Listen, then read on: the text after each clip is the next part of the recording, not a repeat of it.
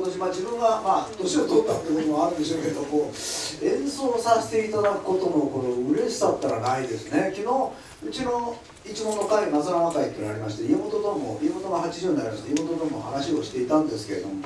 家元なんかもやっぱりあの要は舞台に出ることがほとんどないわけでございますね。ここの2年ぐらい。でなんか弾くことがないけどやっぱ舞台出さ,、ね、出させてもらうっていう心持ちがあるだけで随分違うしまあ演奏家は当たり前のことなんですけどもずっと当たり前のことが当たり前のようにありましたから会社に勤めに行くように通勤電車に乗るようにあの舞台に乗ってましたから何とも思わなかったですけれども本当にまあこのありがたいもんだなと思った時のやっぱり家元の「どつどちてんつつうとん」とかスケロボを弾き始めるその時の最初の「どつ」というものが何とも言えない。ああ芸っていうのはすごいなと思いますね。そのうんこれをどうやったら真似できるのかこの心境っていうのはやっぱすごいもんだなと思ってね。それで直木さんも直木さんっていうのはやっぱり東大一の歌が東大一って言っちゃうと他の人に申し訳ないけど僕は東大一の歌うたいだと思いますが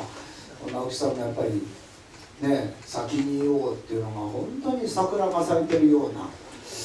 そういうの、まあ、それが逆に言うと分かる年になったのかも分かんないですけれどもその芸の力ってのはすごいなっていうのはサッカー本当に思うわけでございましてこうやっておはやしの女の子たち女の子って言った人でも女の子たちはねでもその人たちだその子たちだってやっぱり演奏することが楽しいって舞台出る楽しいって言いますものねなんかまあそれを目指してやってきたんですけどもなんか非常にとてもありがたいなと思っております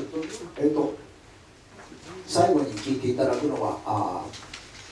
鞍馬山でございます。が鞍馬山。今日ね鞍馬山を最後に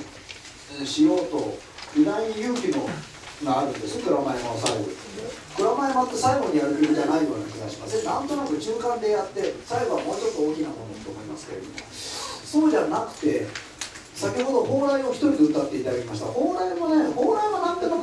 歌うのは分かるような気がしますがこの鞍馬山をねテイソン君で一人で歌ってもらったらどうなんのかどうなんのかなって変だけど歌ってもらいたいなと思ったんですある時。でお林さんを入れてです。で三味線の本音が一人と上女子が一人です。つまり全員が歌本店の三味線上上司お林さんは全部違いますよね。笛で太鼓でだから全員がここに7人出ますが7人が全員違うパートっていうんですか？違う楽楽器とも言えない。違うものをやるやってそれで一曲の鞍馬山っていうのはできないかなと思います普通なら三味線が同じ手を何丁かで弾きます。大田の人も連れがありますとかありますね。っていうんですけどそうじゃないものがここだったらなんかちょっと面白いのができるんじゃないかなと思いました。って思うのは鞍馬山はご存知の通りまだ、えー、義経が義経と言われなかった頃牛若丸だとかシャマ王だとか言われてた。要は多分ね年齢で言うと 10, 10歳とちょっといってんのかな言ってないぐらい。3つぐらいの時に鞍馬山に預けられたわけですね。それでそこでもってあの、まあ、総領母天狗ね天狗と戦って剣の剣の修行をしたっていうのは僕らある程度年代からみんな知ってる話でございましてね。でそういう時のつまり若いです。大薩摩になっておりますけど非常に若い大薩摩ですでこの後、えー、五条橋があり八面慶があり勧進帳まで行くわけでございます。どんどんどんどん年を取っていく大薩摩になっています。勧進帳の中でも「はお!」って弾かなきゃいけませんけどもこの一番ちっちゃい時の鞍馬山というものの若さ若さがおじさんができるかなっていう話なんですけどその その若さが若さがねだから若い時にさんざっぱらやらされたんですよ。二十歳で入った時に「黒豆黒豆系」とかって言われてた若いんだから若いんだからもっとバチバチ当てていきなさいって言ったんです。でその時ってできなかったんです。これ年を取ってくると若いってことに負けられるんですね。なんか。なんかそういうのありますね。自分の中で若さがなくなったから若さとはこういうものだっていうのが自分の中にできてくるわけですね。おのおの。でその若さが若さでもってこの蔵前もができたらいいなと思いますこここは若いですけどね。こ こっち側はある程度のもうね年代が。50以上はこっち側に来るんですけどここは若いここは若いです、えーまあ、そういう感じで蔵前がやってみて。であの、いろいろ